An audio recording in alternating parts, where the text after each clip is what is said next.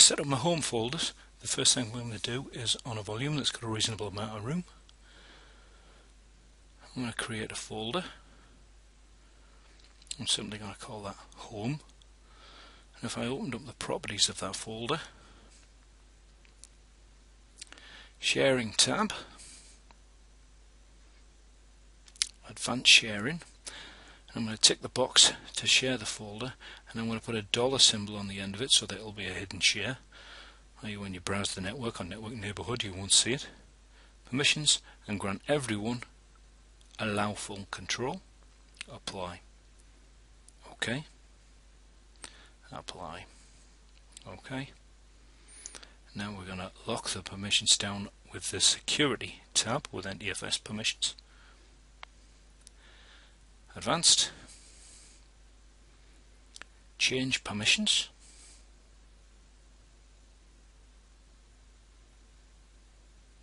Untick the box to include inheritable permissions and select add. Now the permissions as they stand are as follows. Creator Owner if we edit that, you'll see that these permissions apply to subfolders and files only, and there is full control.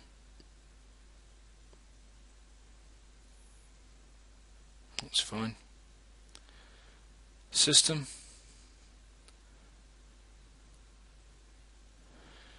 applies to this folder, subfolders and files and it's been granted full control. That's fine, we don't need to change anything. And the administrators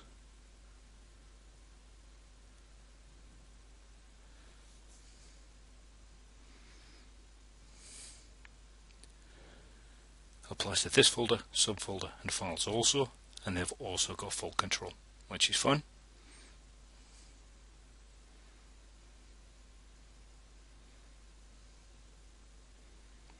Now I'm going to remove the bottom two entries there for users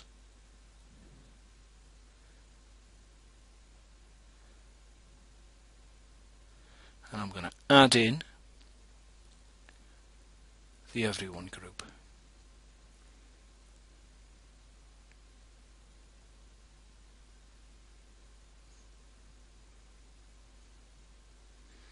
I'm going to change the apply to so that it just reads this folder only and we're going to grant the following permissions. Create folders and append data. List folder and read data. Read attributes. And finally, traverse folder and execute file.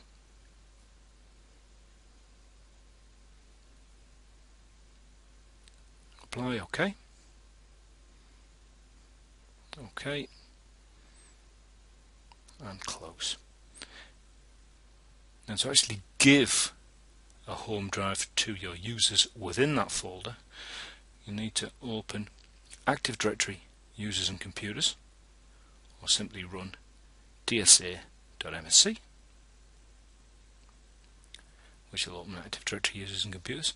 Locate the users that you want to um, point at your home folder.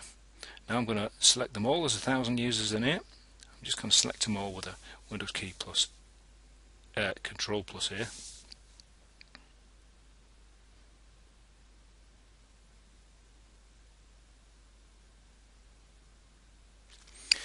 And on the profile, I'm going to tick home folder and I'm going to connect H to the path that I've created. And you'll notice on the end I've written percent username percent. That's a variable that will automatically fill in each user's name as it creates the folder. Apply. OK so that will point each of the user's home folders to a folder within your root folder that will have the same name as the username. Now to set up your roaming profiles, I'm going to create another folder called profiles. and the share permissions for this are going to be identical to the ones that we set up for home. Again I'm going to put a dollar on the end of the share name so it'll be a hidden share and again I'm going to grant everyone full control share permissions. And then once again apply OK. We are going to lock the permissions down with NTFS advanced change permissions. Again untick the include inheritable and select add. Now we know the top three have got the correct permission so I'm just going to remove the bottom ones that we don't need and add in the everyone group. As you can see admins system full control and creator owner. Subfile as files only is also full control.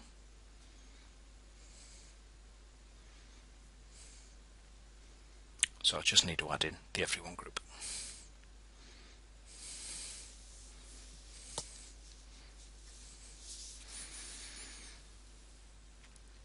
remember you need to change the apply to to this folder only. And you need to grant create folders and append data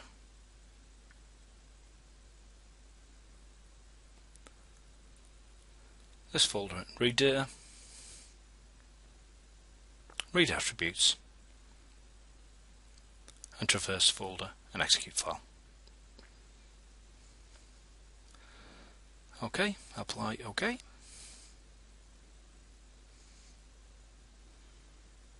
And close.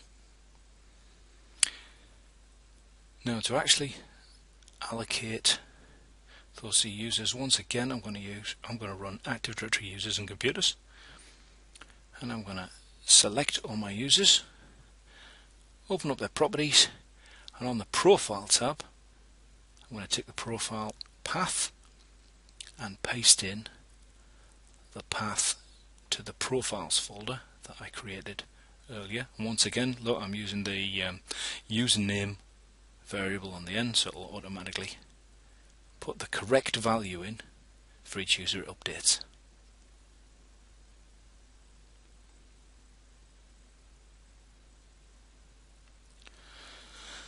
So if I log on as one of those users onto our client machine, we can see that I've now got a H drive mapped in which I've got permissions to whatever whatsoever I wish.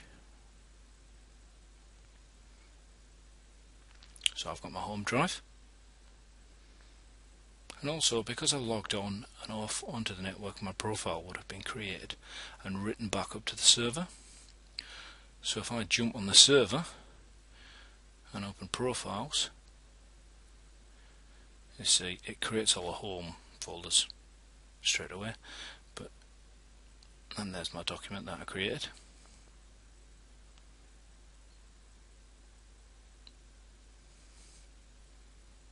however for profiles it only creates them as they're needed. You'll notice this one's got a V2 on the end of it.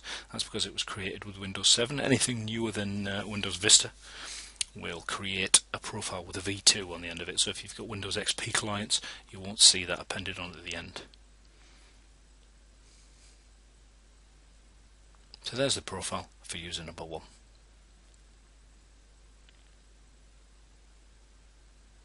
And that's us done and finished. Thanks very much for watching. Don't forget to come and visit us at www.petenetlive.com.